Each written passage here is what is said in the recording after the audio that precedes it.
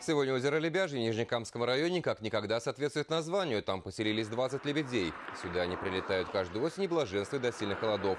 Для них это настоящий рай. Рыбы много и никто не беспокоит, ведь водоем находится в заповедной зоне. Потому и соседи есть дикие утки, делить им нечего, так что живут мирно и счастливо, пока не полетят в чужие края вслед за уходящим теплом.